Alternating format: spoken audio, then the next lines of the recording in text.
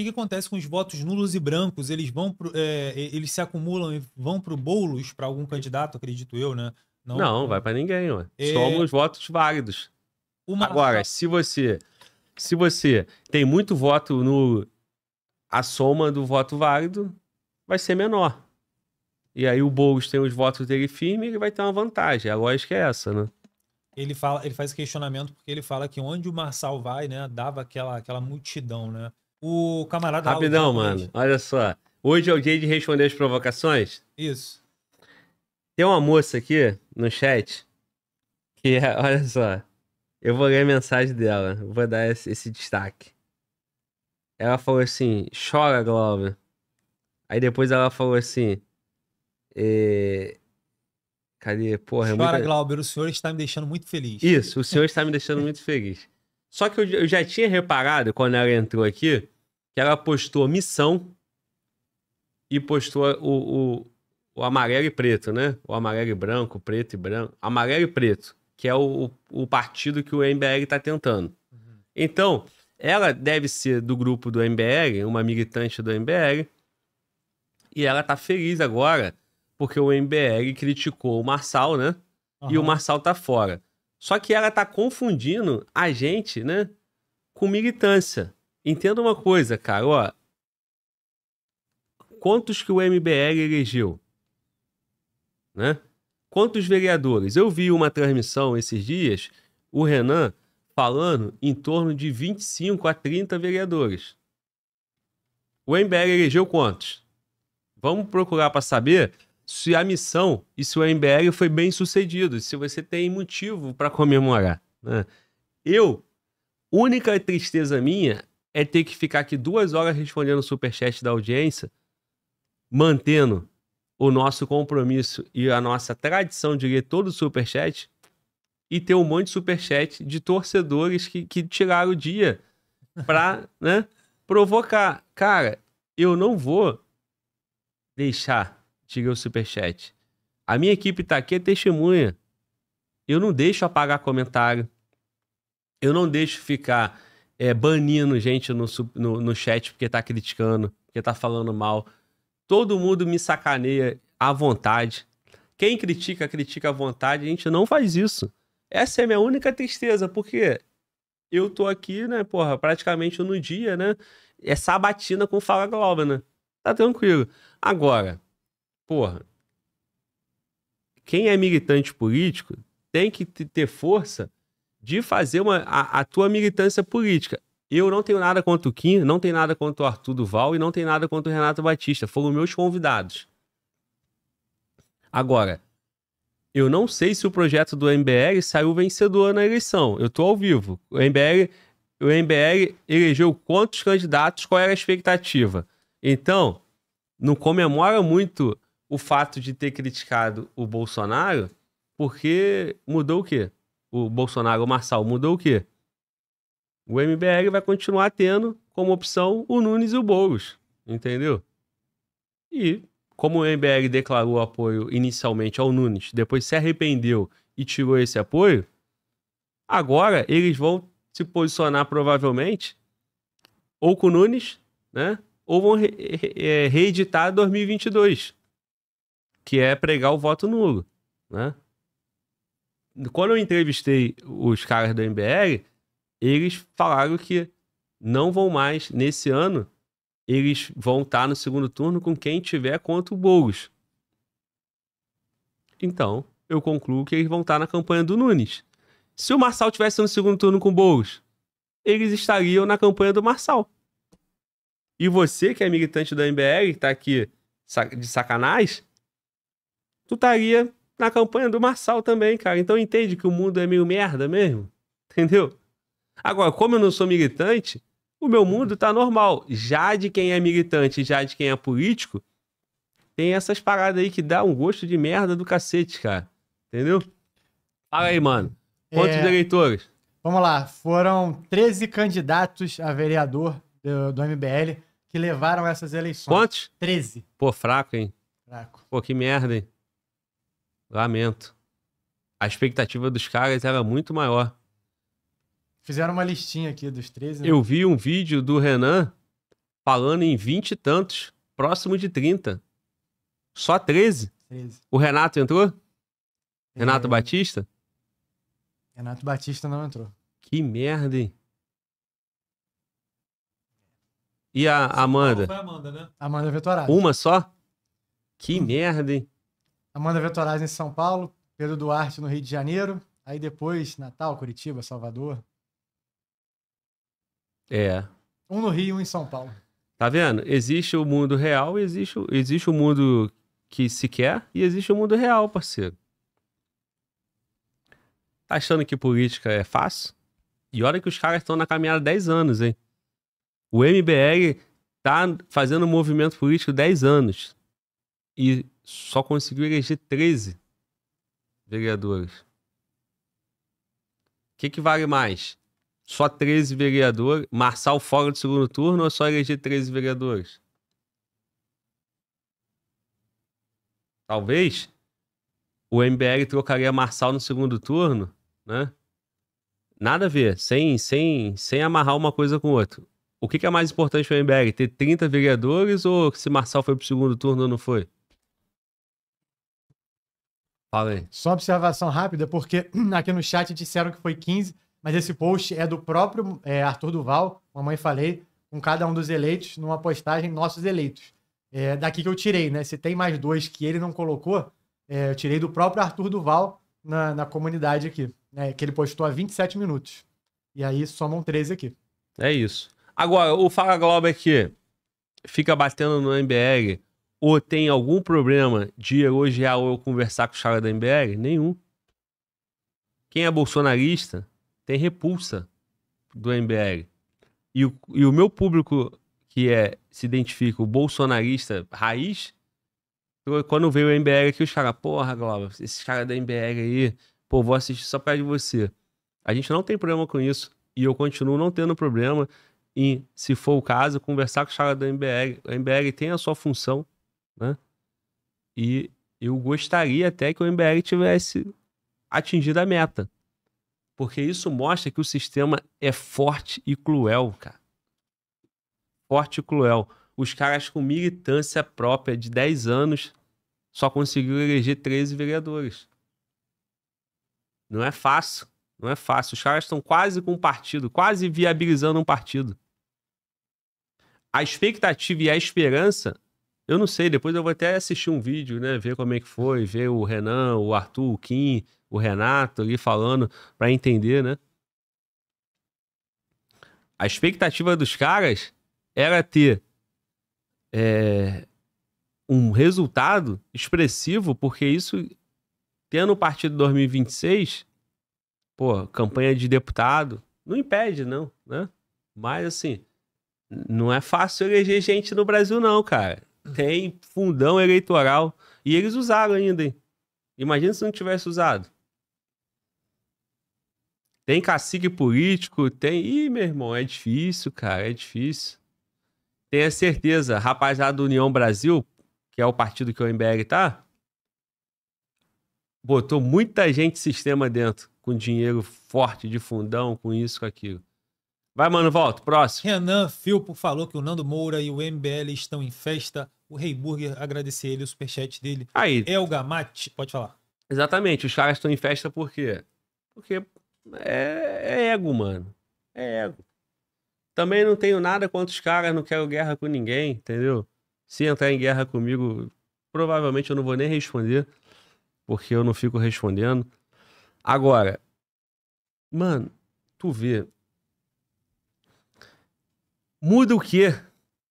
Como é que você comemora uma candidatura que tem Nunes e, Boulos no segundo turno? Como é que você comemora uma campanha política com Nunes e Boulos no segundo turno? Só consigo entender como ego, como questão pessoal. Vaidade do homem falando assim: estava certo. Vocês aí, ó, que, me zo... que riram de mim, que criticaram, hater, olhem pra cá agora, aqui pra vocês, eu estou certo. Muda o quê, cara? Muda nada. Muda nada. Muda se o camarada ficava afetado e chateado com o ego dele doído quando estava recebendo a crítica. Aí agora é o momento dele de gritar. Assim como tem um monte aqui que tá se sentindo no momento de cutucar lá ele e questionar e criticar o, o, o Fala Globo, atacar o Fala Globo. Cara, minha consciência tá 100% tranquila. Papo reto. Glauber, você acha que o Boulos ou Nunes aceitariam o apoio oficial do Marçal? Ou o Marçal vai sumir da mídia em virtude é, dessa notícia e desse, tila, desse laudo falso? Mano, volta, eu vou pedir pra tu ler novamente, mas antes eu vou ver aqui um superchat que eu acho que vale a pena repercutir isso aqui. Olha só, um chat. O camarada falou assim, Glauber, no seu ponto de vista, seja bem sincero, vale a pena viver nesse país vendo toda essa situação que o sistema tomou conta do estado inteiro de São Paulo? É, cara, sendo bem sincero, mano, é desanimador. Eu, a minha resposta vai ser sim, porque para mim, cara, o que mais é importante é a minha família, né? São as pessoas que eu amo que estão no Brasil. Eu não seria capaz de tirar todos eles e levar comigo para um outro país, né? E ainda que eu conseguisse fazer isso, eu não teria a mesma sensação de prazer de estar numa terra que não é minha, que não é o lugar onde eu cresci. Aqui também não é nossa, né? Na verdade é essa, né? Mas é diferente, cara. Eu vivo em Brasília e no Rio. Quando eu chego no Rio, por mais que o Rio seja uma eu me sinto bem. Porque é o meu lugar, cara, entende? É onde eu cresci, é onde eu, né? Eu tenho memórias. Então, cara, eu só acho que vale a pena ficar aqui por isso, que é o motivo mais importante que, que, que, que conduz a minha vida, pô. A minha esperança não tá no político, cara. Volto a te dizer, eu vim lá de São Gonçalo, minha família é pobre, meu pai era engraxate, minha casa não tinha nem muro, nem janela, morava, porra, num terreno baldio. Meu pai trabalhou pra caramba, me deu uma condição de fazer uma faculdade, me deu garra, me deu exemplo, me deu força de vontade de conquistar, de honrar minha família. Sigo o exemplo da minha família, do meu pai, da minha mãe, dos meus tios. Minha família. E é o que eu faço. Hoje, eu dou orgulho para eles aqui no canal, honro todos eles. E é o que me move, irmão. A minha esperança tá nisso. A minha esperança tá. E quem sabe você, porra, ter a mesma opinião, o, a, o mesmo testemunho e ter como valor isso que eu tô te falando aqui, cara. Meu irmão, Bolsonaro, Marçal, Lula, qualquer um desse aí, cara, não vai mudar a tua história de vida, não, cara. É você que vai mudar, pô. É só a família que vai te trazer felicidade, não é Bolsonaro, não, pô. Não é Marçal, não é Boulos, não é Nunes. Entende? Agora, eles são um mal. É, não é nem necessário, eles são um mal imposto, né? É imposto, né? Imposto, imposto, mas está imposto a você um político. É igual síndico, porra. Tu mora no prédio o camarada do condomínio tem um síndico, porra. Tu ama teu síndico? Não, mas você tem que, porra, conviver com ele e tirar dele alguma coisa que, porra, no mínimo não atrapalhe a tua vida aí no condomínio que você mora, pô. Que é o que a gente busca, irmão. Entendeu? Agora, por que, que eu não vou sair do Brasil? E por que, que eu não fico, por comprando briga que a minha única saída seja ir, ir para fora do Brasil igual os, os caras que estão por lá? Porque eu vou ser completamente infeliz porque eu não garanto a minha sanidade mental longe das pessoas que eu amo, da minha família, dos meus filhos, do meu lugar onde eu cresci. Então, se eu vou ser infeliz, irmão, que eu já sei que eu vou ser infeliz, para que que eu vou entrar num projeto desse? Agora, o que, que eu vou fazer? Trabalhar, ser responsável, tentar honrar a minha equipe, um ambiente bom para eles, que eles tenham orgulho de trabalhar aqui,